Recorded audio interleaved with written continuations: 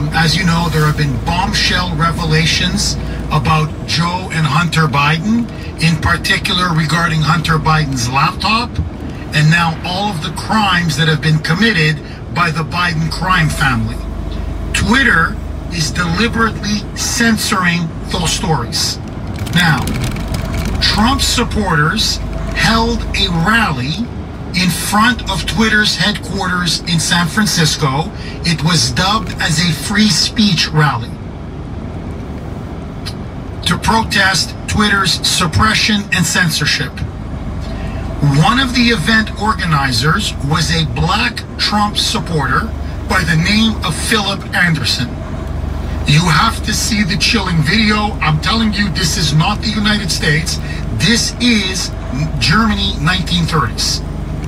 And instead of the black, the brown shirts, we have the fascist Antifa, dressed in literally head to toe, covering their faces. So, the event organizer is trying to bring a white person with him, uh, a Trump supporter, I believe a speaker at the rally. There was a huge mob of Antifa Black Lives Matter supporters who showed up. They were trying to prevent Phil uh, uh, uh, Anderson and Philip Anderson and his friend from getting through. As they're walking through the crowd, an Antifa thug dressed in black sucker punches Philip Anderson. I mean, just hits him right on the side of the head. You can see, I mean, it just clocked him. He is stunned. He is holding his jaw and his ear. The person beside him who is escorting is looking on in horror, like, what the hell just happened? And then the Antifa thug hit him again, this time squarely on the mouth. He hit him right on target. He hit him dead on the mouth and smashing his front teeth. You can actually see it afterwards where his teeth are all like they're dangling. A couple, couple of them are just shattered. They're gone. And there's another one just dangling. Blood spurting out of his mouth. The crowd got so violent, they started to go after other people that were trying to get to the rally, including two elderly Trump supporters who wanted to go to this free speech rally. They assaulted them and they tossed them and threw them to the ground. Most of the Antifa thugs were white. On the video, you can hear them shouting the N word at Philip Anderson. Get back and get out of here and get lost and back down and you've lost and again and again and again. A woman down the street who was simply just wearing, I didn't think she was even going to the rally. She simply was wearing a t-shirt with an American flag on it and then George Washington superimposed, so basically a patriotic flag. She was walking, she was assaulted by Antifa. They took stuff from her purse. They hit her, they pushed her, they beat her, they tossed her to the ground. She had to run out of there. The other rally goers, the police told them it was not safe. They couldn't protect them anymore.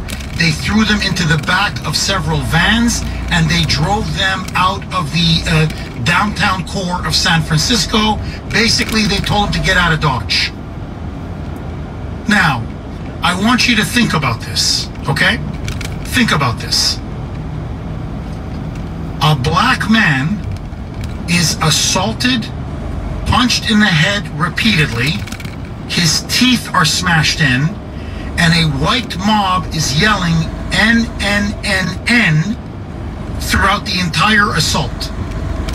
Not a word from the entire mainstream media. Not a word. If you flipped it, if these were Trump supporters, who beat up a black Biden voter and kicked and punched his teeth in and were yelling the N word, which you can hear on tape, this would be saturation coverage. I'm saying CNN would be running it 24 7. The networks would be leading with it. The New York Times and the Washington Post and the Boston Globe, it would be splashed on the front page. The local media here would be going apoplectic. Trump would be, be telling him, denounce him. You got to denounce him. The president is responsible.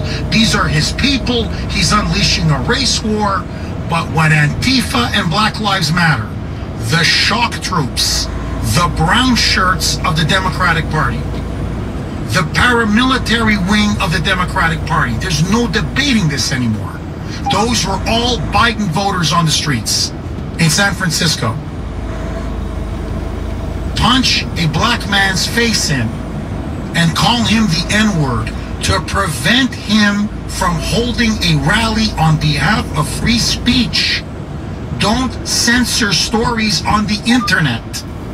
You shouldn't have censorship in America. There's something called the First Amendment. Crickets. Silence. And their silence speaks volumes.